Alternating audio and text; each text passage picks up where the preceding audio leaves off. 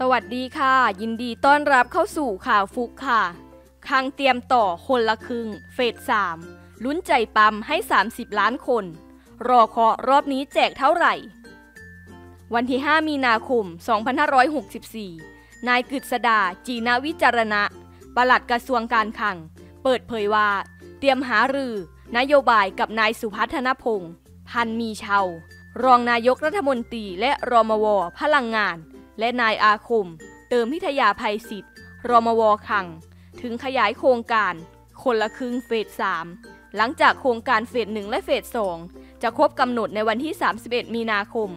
ว่าจะขยายต่อไป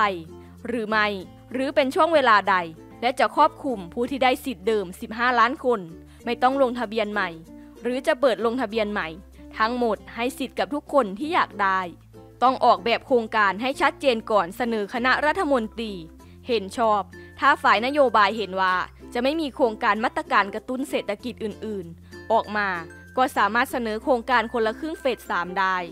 ซึ่งหลักการต้องใกล้เคียงกับของเดิม แต่จะดูเวลาที่เหมาะสมว่า จะให้ต่อเนื่องไปเลย หรือเว้นช่วงไว้ แล้วจะให้สิทธิ์กี่คน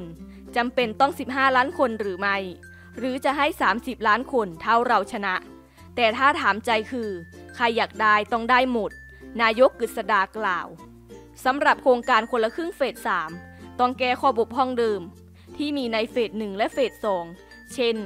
ต้องรวมภาคบริการจากเดิมให้ซื้อได้เฉพาะสินค้า และต้องหารือกับธนาคารกรุงไทยว่า มีภาคบริการเข้าร่วมโครงการ ในฐานข้อมูลมากน้อยแค่ไหน และสาเหตุที่ควรขยายมาตรการเฟส 3 ออกไป เห็นเพราะว่าต้องรักษา แรงส่งเศรษฐกิจฟื้นฟูต่อไปได้ เป็นการช่วยเหลือทุกภาคส่วน ร้านค้ารายเล็ก ทั้งสินค้าและบริการกว่า 2 ล้านราย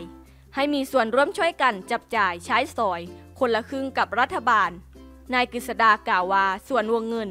ที่จะให้เบื้องต้นคาดว่าจะไม่ได้ให้ 500 บาท เหมือนเฟสสองซึ่งอาจจะน้อยเกินไป แต่หากจะให้รายละ 3,000ถึง3,500 บาท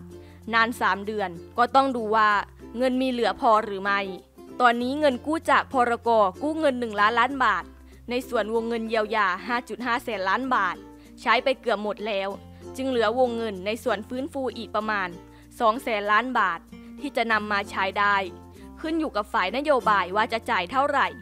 จึงเหมาะสม ส่วนข้อเสนอของนายสุพัฒนพงศ์ให้ลดอัตราภาษีเงินได้ นิติบุคคล 20%เพื่อจูงใจให้ต่างชาติเข้ามาลงทุนในไทยนั้น ต้องไปพิจารณาว่าเมื่อเทียบกับประเทศคู่แข่งแล้ว อัตราภาษีไทยสูงเกินไปหรือไม่ เช่น สิงคโปร์อยู่ที่ 18%แต่บางประเทศก็สูงกว่าไทยมาก ในมุมมองคือถ้าลดภาษี ก็ช่วยเรื่องของการแข่งขัน จูงใจลงทุนเพิ่มขึ้นได้ แต่การเสนอต้องทำเป็นแพ็กเกจ ถ้าลดภาษีเงินได้นิติบุคคล ก็ต้องจัดเก็บรายได้จากตัวอื่นมาแทนด้วย